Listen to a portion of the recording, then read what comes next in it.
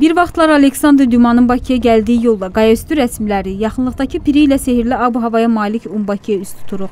Dərdlərini öləzidə bilməsək də, qaranlıq dünyalarında ruhlarını aydınladacaq bir nəfəslik açmaq ümidini əlimizə əsa edib ən azı ağrılı hisslərin əlindən tutaraq. Çünki bu mübhəm xəstəlik istəsək belə yenə də cüzamlıların əlini sıxmamaq qadağası ilə bizi əyləyəcək. Bu yol bizi paytaxtdan 70 kilometr uzaqlaşdırır. Cüzamlıların həyat yolu kimi elə bu yollarda kələ götürülüdür. Dünyada cüzamlıların sayı 8 milyon civarındadır. Başqa sözlə dünyada bir Azərbaycan əhalisi boyda cüzamlı yaşayır. Azərbaycanda isə cəmi cümlətani 46 cüzamlı var. Umbaki deyiləndə ilk göz önünə gələn cüzəm xəstələrin yaşadığı bu məkandır. Bəli, biz həmin məkandayıq. O məkanda ki, buranın giriş qapısı var, çıxışı yoxdur. Bu bizim üçün yox, xəstələr üçün belədir. Çünki onlar ömürlərinin sonuna kimi burada yaşamağa məhkumdular. Ötən əsrin 90-cı illərində Sovet rəhbərləri belə qərara gəlirlər ki, cüzamlı xəstələri yerləşdirmək üçün həm mərkəzdən kifayət qədər aralıda, həm də həkimlərin gediş-gəlişi, xəstələrin çatdırılması üçün rahat məsafədə olan bir yer seçilməlidir. Nə Tiflis, nə də İrəvan yaxınlığında belə bir yer münasib bilinmədiyi üçün Qobustan ərazisindəki Umbaki qəsəbəsi məqsədə uyğun hesab edilir. Buradakı xəstələrin ən cavanının 40 yaşı var. Onlar arasında əvvəlki illərdə olduğu kimi başqa millətlərdən heç kəs yoxdur. Cüzamlılar damğası ilə normal insan kimi yaşamaqdan məhrum olan bu şəxslər nəinki xəstəliyin ağrılarını, üstəlik qıyğacı yanaşmanın, cəmiyyətdən silinmənin üzüntülərini çiyinlərində daşımaq zorundadılar. Nəzərə alsaq ki, onlar da mahiyyəti, yaradılışı, varlığı baxımından sonucda insandılar. Bu zaman, özü də zamanın itdiyi bu məkanın zamanında insan zəif halətində bu dərdin ağırlıqlarını çiynində hansı güclə daşıyır? Sual doğurur. Xəstə qapının bu üzündə sağlam aqlin cavablandırmaqda acizlik çəkdiyi bu sual o biri üzündə özü də yaralı üzdə düyünlənmiş yaş damcıları ilə nöqtələnir. 28-ci ildə mən xəstəliyə düşdüm. Mən sayları müharibəyə getdim. Mən xəstə olduğumdan məni aparmadılar. Uzun illərin sınağından çıxıb öz ağrı acıları ilə, o elə burdaca özü ilə həmdard olan bir xanımla da ailə qurub, xeyli vaxt da onunla bir yerdə yaşayıblar. Böyük sevgi ilə bölüşüblər həyatlarını. Hər kəsin gözündən, könlündən uzaq olan bu məkanda. Mən qoydu get, Allah apardı onu. Allah apar qaldı, mən qalmışam. O yaralı üzdəki yaş damcıları, ümidsizliyin ağışında can verən bir qocanın fəryad dolu söhbəti içimizi sızladır. Amma narazı deyil. Mən sağ olsunlar, kömək edirlər biz. Qoymurlar, körlü sənəyə qoymurlar. Yaxşı saxlayırlar. Yaxşı qulluq edirlər. Mən razıyam bunlardan. Allah sizi qorusun, gəlib bizi yada salın, yoxlasın. Çox razıyam, çox. Üzünün, əllərinin eybinin ekranda əks olunmasını istəməyən 14 cüzamlı ilə qarşılaşırıq.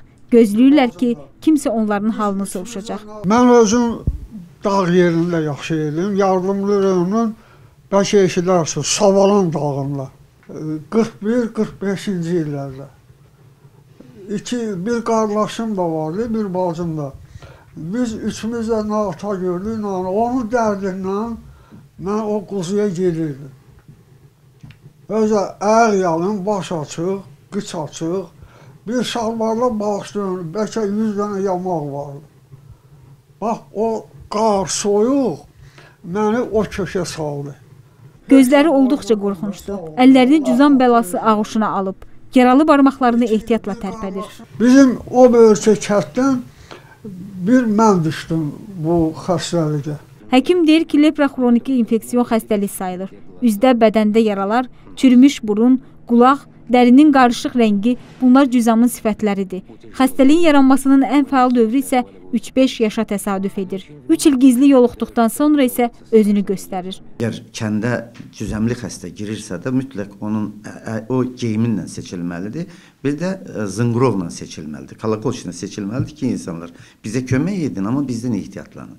Bu xəstəliyə yoluxmanın yolunu belə tez müayinə üsulunu müəyyən etmək çox çətindir. Demək olar ki, olmur. Ancaq xəstəlik orqanizmə daxil olub özünün bütün fəsadlarını, yəni zədələyə biləcəyi orqanlarda öz işini yerinə yetirdikdən sonra son görüntü olaraq simptomatik görüntülər üzə çıxır. Yəni üz görüntüləri, dəri görüntüləri. Maraqlıdır ki, bu xəstəlik intim münasibətlərdən qaynaqlanmır. İrsi xarakterdə daşımır. Xəstə qadın tam sağlam uşaq da dünyaya gətirir. Belə bir fakt Umbakidə də qeydə alınıb. Burada olan uşaqların böyük əksəriyyəti demək olar ki, anadan olandan sonra ya qohumlarının himayəsinə verilib, qısa vaxtdan sonra müəyyən izolyasiya şərtləri yaradılıb, müəyyən vaxtdan sonra ya qohumlarının himayəsinə verilib, ya uşaq evinə verilib. Burada böyüyüblər. Növbəti maraqlı fakt. Son 30-40 il ərzində bu xəstələrlə təmasda olan nə həkim, sanitarka, nə də tibb bacısı yoluxmayıb. Buradakı xəstələrin əksəriyyəti isə az yaşlı olarkən bu xəstəliyə yoluxublar. Baxır ki, qaşının tüklərindən bir bitki ki, əlinə gəlir. Və yaxud qaş nahiyəsində əlini qaşa vuranda hiss eləyir ki, qaşın altında düyünlər var. Bu artıq siqnaldır. Bu xəstəliyin artıq başlanğıcı yox, artıq üzə gələn siqnaldır. Yəni müəyyən mərhələsi deməkdir. Cüzam xəstəliyinin sağalmazlığı bir yana, onun keçici olması da dəhşətlidir. Müalicə edilməyən cüzam ümumilikdə ömrü qısaltmır, tədricən insanı məhv edir. Bu dərdlə yaşamağın isə çətinliyini cüzamlılar qədər heç kəs bilə bilməz. Çətindir. Çox çətindir. Yaşamaq çoxdur. Cüzamlı xəstələrin görünüşü o qədər vahiməlidir ki, kimin ailəsində belə bir nəfərin olması bütün bir nəslin faciəsinə çevrilir. Bəlkə də buna görə cüzamlı xəstələrdən təkcə yaxınları, qohumları deyil, bütövlükdə cəmiyyət üz döndərərək onları gözdən könüldən uzaq bir ünvana atır. Bura gəldi var, qayıtdı yoxdur. Bu ünvandan tərəddüd və rahatlıqla ayrılırıq. Rahat oluruq ona görə ki, uranı bütün risklərə rəğmən biz ziyarət edə bildik. Tərəddüd edirik ki, görəsən getdiyimiz ünvana özümüzlə bərabər cüzam mikrobunu götürdükmü? Həkim bizə təskinlik verməyə çalışsa da, buradan ayrılarkən gördüyümüz bu pişiyin hazırki durumu gözümüz önündən getmir. Dönüb arxaya da boylanırıq. Cüzamlı xəstələr bu cəhənnəmə andıran məkanda nə vaxtsa əbədi susacaqlarını gözləyirlər. 2000-ci ildə xəstələrin sayı 103 nəfər olsa da, indi onlardan cəmi cümlətani 46-sı sağ qalıb. Doğmalarından isə çıxmadığı halda isə onlar burada qəsəbə qəbirstanlığının bir hissəsində onlar üçün ayrılmış kimsəsizlər məzarsanında dəfn edilirlər.